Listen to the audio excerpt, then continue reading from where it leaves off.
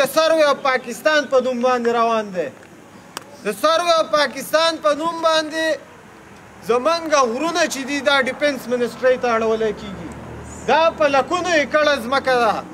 د سوات دیر بونیر او چترال د دې علاقو دویم لوی پراجکټ چې د ترقۍ روان دی هغه پراجکټ چې دی د ګرین ټوریزم په نوم باندې روان دی ګرین ټوریزم کې هغه ښکلي زونه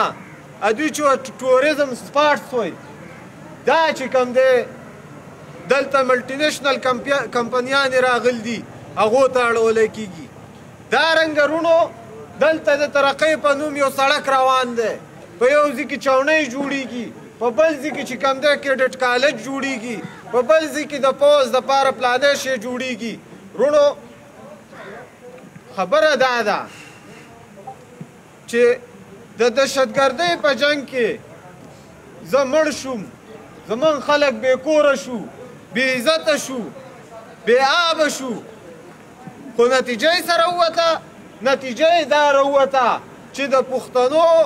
په پښتونخوا وطن کې چې کم وسایل دي په دې د ملکیت د ملکیت حق چې کوم دی دا ستا نه اخلي دا خاوره چې ستا پلرونو او نیکونو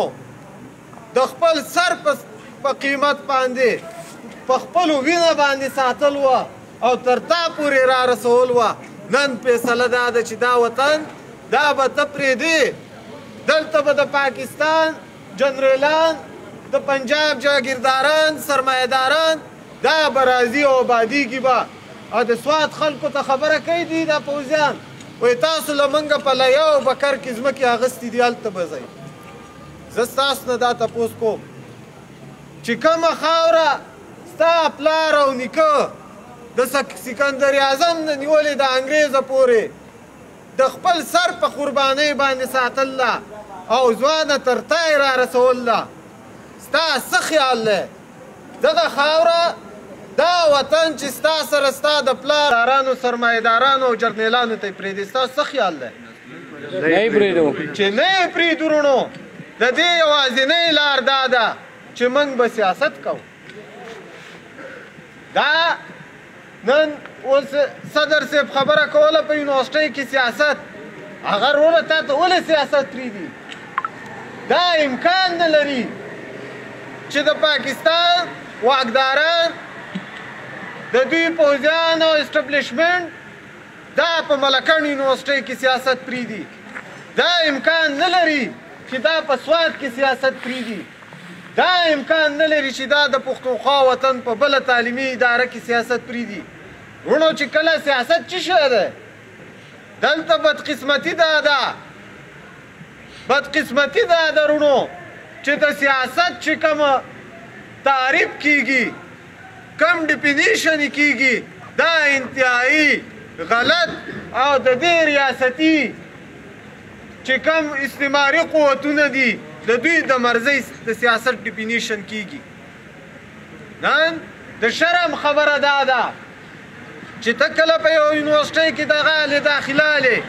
ستا نه په اپیډیټ باندې دا خبره نه د دې دا اپیډیټ ستا نه نه اخلي چې زه به چرس نه څکم خدای مکه بیا د بي معاف زه به یو بل غلط کار نه کوم زه به غلا نه کوم زه به پلانې غلط کار نه کوم تا ته څه وایي تا ته وایي زه به په یونیورسټۍ کې سیاست نه کوم دا خبره تا ته کوي که نه دا رنګه روڼو تاسو یو عام هوټل ته لاړ شئ په دا هوټل کې به دا سړی پوهېږي نه په دې خبره چې سیاست څه شی دی ولې زه دا ووایم چې یاره سیاسي ګفتګو سه پرهیز کرئ په پلاني ځای کې په پلاني ځای کې دا روڼو داسې دا خبره نه ده دا یو ریاستي پالیسي ده هغه دا فیصله کړله روره چې تا به بې شعوره ساتي تا به بې تعلیمه ساتي دا بې تعلیمي دا شی نه دی چې ته چې ما خو ډیګري کړله زه ولې بې تعلیمه یم تعلیم دا دی چې ته د دې عصري علومو سره د بیولوژۍ او زوالوژۍ سره د فزیکس او د لټریچر سره ته د پښتونخوا وطن په وسایلو خبرې ته د پښتونخوا وطن په مسایلو باندې خبرې وروره چې ستا کې سیاسي شعوري ته په دې خبرې چې د سواد زمرد چې دي دا زمونږ ملکیت دی چې ته په دې خبرې چې د وزیرستان چې کوم خدای پاک پکې سره زر پیدا کړلی که لیتیم دي که ګیزونه دي که پټرول دي که نور معدنیات دي دا زمونږ ملکیت دی نو یا به څه کېږي بیا به دا کېږي چې ته به د دې د حق ملکیت د ګټلو دپاره راپاڅې او چې ته کله د ملکیت خبره کې ته کله په دې د اختیار خبره کې بیا د دې خلکو مفادات چې دي دا چیلنج کیږي د دې لپاره په سیاست باندې په یونیورسيټۍ کې بندیز لګول دی د دې لپاره د کال په ارباو ډالر په دې باندې لګوي چې زه پښتانه ځوانان څنګه د خپل قامي سوال د سیاست نه لرې وساتم او نن نتیجه دا ده رونو نن د هغې نتیجه دا شوه چې زمونږ ځوانان چې دي دا د سیاست نه لرې پاتې شو او چې د سیاست نه لرې پاتې شو د هغې په نتیجه کې زموږ په وطن باندې یوه لویه بدبختي د دهشتګردۍ په شکل کې په بل شکل کې په دې باندې په موږ باندې د ریاست پالیسیانې چې دي دا مسلط شوې